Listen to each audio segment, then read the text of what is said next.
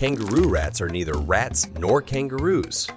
These mouse-like animals with large eyes and tiny ears belong to the rodent family Heteromyidae and are found in the deserts of North America. They need little to no water to survive. Instead, they get the water they need from their diet, which consists mainly of seeds. Interestingly, they can turn their urine into water. Their kidneys concentrate their urine to almost a crystal form. Also, kangaroo rats stay in their burrows during the day to stay cool. They collect seeds at night, storing them in their cheek pouches. And extra seeds are stored in their burrows where the seeds absorb up to 30% more moisture.